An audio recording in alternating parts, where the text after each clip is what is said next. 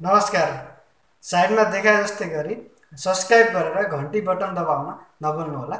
यस्तै यस्तै भिडियो सधैँ हेर्नको लागि। नमस्कार दर्शकबिन स्वागत छ तपाईँलाई रामपुर मिडिया च्यानलमा म सुमन भण्डारीको तर्फबाट। दर्शकबिन आज म अत्यन्तै खुसीको खबर लिएर हजुरहरूमाझ आएको छु।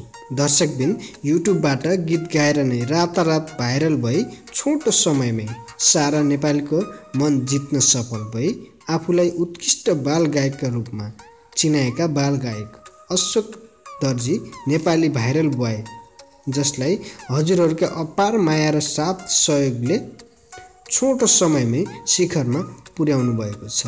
आज तिनै अशोक दर्जी अझ अहिलेको समयका नेपाली स्टार भने पनि फरक नपर्ला। तिनै अशोक दर्जीका बारेमा हजुरहरूलाई अत्यन्तै खुसीको खबर दिन छु।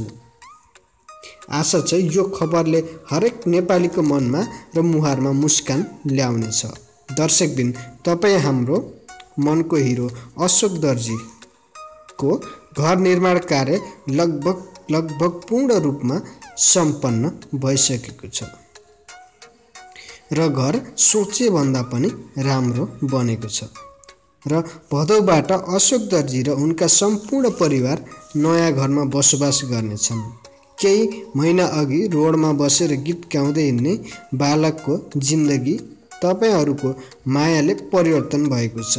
दर्शकबिन यसको लागि हजुरहरूलाई हार्दिक धन्यवाद भन्दछु।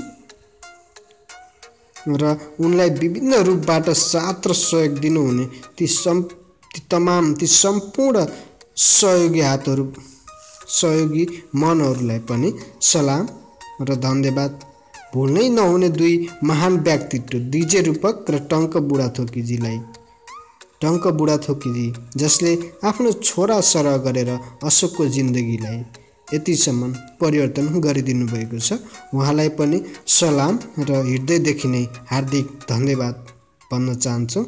र घर निर्माणको जिम्मा लिई घर निर्माण भने जस्तै र छिट्टै समयमै सम्पन्न गर्नुहुने घर निर्माण कार्यका पुरै टिमलाई पनि हार्दिक धन्यवाद र अशोकलाई हार्दिक बधाई र अझ प्रगतिको कामना।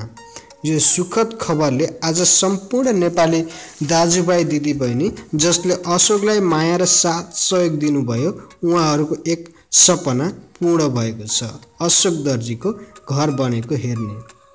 आशा छ अशोकको भन्दा पनि तपाईँहरूको मन यो खबरले अत्यन्तै हर्षित हुनेछ र सधैँ यसरी नै माया र साथ दिनुहोला हाम्रो प्यारो अशोक दर्जीलाई। भन्दै अहिलेको लागि म पनि बिदा हुन चाहन्छु। हवस् त नमस्कार।